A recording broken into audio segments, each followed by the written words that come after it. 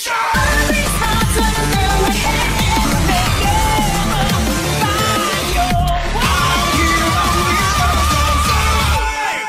what up, guys? Is your boy, SonTJ. How's it going, everyone? Today, we're here talking about Ball Super Manga Chapter 82 spoilers. I haven't done this in a while. Um, still working on different type of videos, but if you're new to the channel, um, if you like me talking about, well, if you like talking about Dragon Ball anime, manga, comics, movies, uh, this is the channel for you. And we're going to be bringing in working out workout content pretty soon. So if you have a favorite um, anime character you like, um, I'm probably incorporate to my workouts and try to get everyone healthy and shape. But regardless, let's talk about Chapter 82.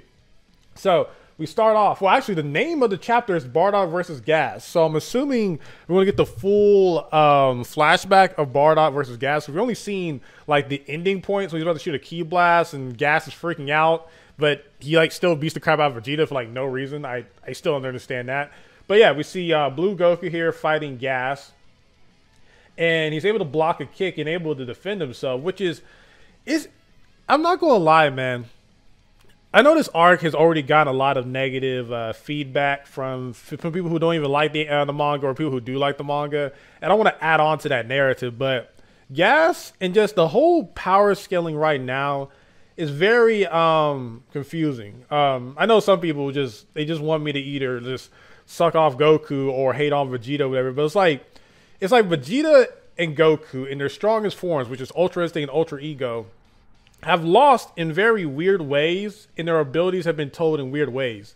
But it's like UI Goku, like your uh, UI Go, uh, Goku and Blue using UI has done so good between like either a, a fatigued full power Granolah or a gas who's at his strongest ever. It is no fatigue. You can either say that he's keeping Goku around for fun or torture, whatever it is. It's like regardless how you feel about who's stronger or whatnot, it just feels weird that we're seeing like a weaker form get so much more screen time than both Ultra Ego Vegeta and UI Goku. It's weird to me. Um, I don't know. Again, that's just how I feel about it. Again, well, hopefully we get more of an explanation throughout this chapter. Maybe, maybe we might get a, a return of perfected Ultra Instinct, but I am getting kind of tired of Blue Goku performing better, at least through screen wise, above Ultra Ego and UI Goku. Granted, UI Goku, like I talked about in my previous short, you can check that out. I talk about the weakness of Ultra Instinct and how it's shown with both Merus and Goku when you're talking to someone, you get you get like snuck. But yeah, we see Goku blocking a kick, does some damage to him. We see him teleporting around. He teleports to the uh, Galactic Patrol. Um, we see them fighting yet again, and again they're clashing with each other. Pretty. I just I just feel like yes, since he is the strongest in the universe right now, he should be doing a lot better against Blue Goku than he is right now.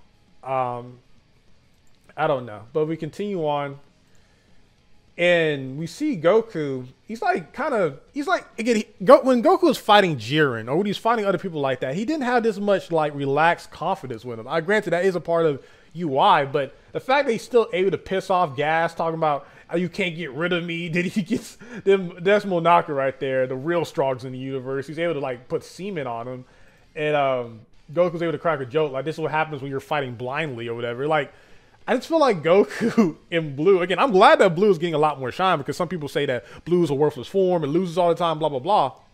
But it just feels so weird that this guy who's stronger than Granolah, stronger than Ultra Ego Vegeta, stronger than UI Goku, stronger all these things, is just being portrayed in such a way that makes him look kind of incompetent. And then like you can tell that's affecting him because he's telling Goku, "Shut up!" and rushing at him and stuff. And I don't know, but we're teleporting around, and we're teleporting. Uh, I think this is that one dude who like who can like knows everything in the universe, but then like gas like a fool. He's in the tub. I don't know where this is leading to, to be honest, but I'm excited to see the full flashback of Bardock versus Gas.